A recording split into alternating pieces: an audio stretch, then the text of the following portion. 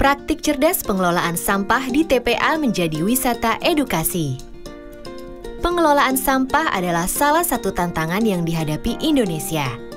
Sebagian besar tempat pemrosesan akhir sampah di Indonesia masih dioperasikan secara terbuka atau open dumping. Beragam dampak dan risiko dialami warga dengan kehadiran tempat pemrosesan akhir sampah ini, termasuk polusi udara, risiko penyakit ISPA, dan penyakit pencernaan lainnya. Sebenarnya sejak diberlakukannya Undang-Undang Nomor 18 Tahun 2008 tentang pengelolaan sampah, definisi TPA berubah dari tempat pembuangan akhir menjadi tempat pemrosesan akhir sampah. Pengoperasian TPA pun tidak boleh dilakukan secara terbuka.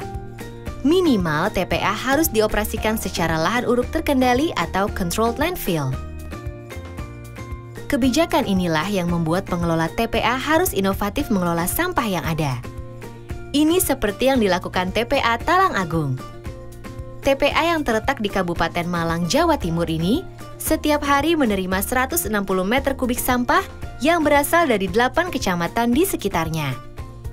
Agar sampah bisa dikelola dengan baik, petugas TPA Talangagung memisahkan sampah yang masih dapat digunakan kembali serta didaur ulang dari sampah organik dan lainnya. Sistem 3R atau reduce, reuse, recycle juga diterapkan untuk mengurangi timbunan sampah dan pemanfaatan kembali ataupun pendauran ulang sampah. Sampah yang telah ada di TPA Talangagung ditata dengan mengikuti topografi dan struktur geologi setempat sampai mencapai ketinggian sekitar 2 meter Kemudian ditutup tanah atau terpal yang bisa terurai atau biodegradable untuk memungkinkan penguraian sampah yang efektif. Hal ini terus dilakukan secara berulang sampai cekungan penuh dan menjadi lahan uruk terkendali atau controlled landfill.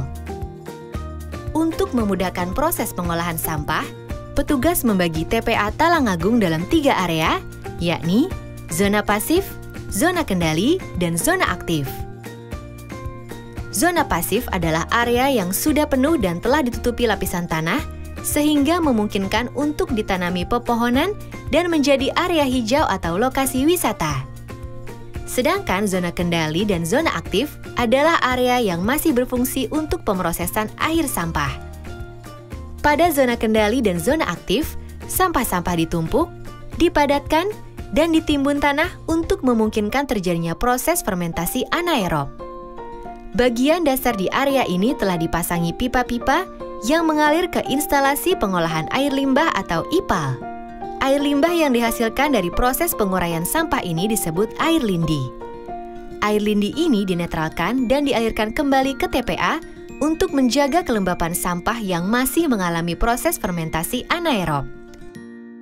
Proses fermentasi anaerob sampah ini juga menghasilkan gas metana Gas ini bisa dimanfaatkan sebagai bahan bakar ramah lingkungan, seperti untuk generator pembangkit listrik di kawasan TPA Talangagung. Bahkan, gas metana ini juga disalurkan ke rumah-rumah warga sekitar TPA untuk memasak, menggantikan tabung LPG. Kini TPA Talang Agung tak hanya sebagai tempat pembuangan sampah, tetapi sudah berubah menjadi kawasan wisata edukasi. Di TPA ini, masyarakat bisa belajar cara memilah sekaligus mengubah sampah menjadi energi terbarukan. Pengembangan kegiatan edukasi masyarakat ini diintegrasikan ke dalam program dinas lain seperti Dinas Pertamanan dan Kantor Pemberdayaan Perempuan dan Perlindungan Anak atau KP3A terkait upaya wisata edukasi bagi siswa sekolah. Inovasi pengelolaan sampah TPA Talangagung tak lepas dari peran lembaga terkait seperti Dinas Cipta Karya dan Tata Ruang Kabupaten Malang, Badan Lingkungan Hidup Kabupaten Malang, Badan Penelitian dan Pengembangan Kabupaten Malang, Pemerintah Desa Talangagung, dan kelompok swadaya masyarakat atau KSM yang memiliki komitmen kuat dalam pengelolaan sampah.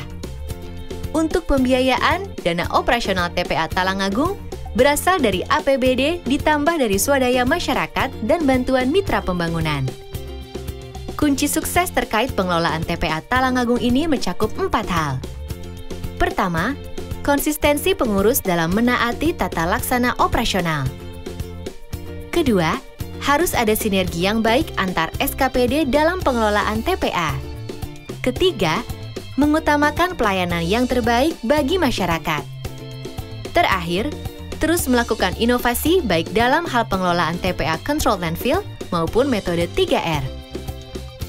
Inovasi pengelolaan tempat pembuangan akhir ini telah mengubah TPA Wisata Edukasi Talangagung dari sumber polusi dan penyebab berbagai penyakit menjadi manfaat yang meningkatkan ekonomi warga sekitar TPA. Manfaat ekonomi yang dihasilkan dari TPA ini antara lain terbukanya lapangan kerja dan peluang usaha baru daur ulang sampah, sekaligus untuk mengurangi volume sampah.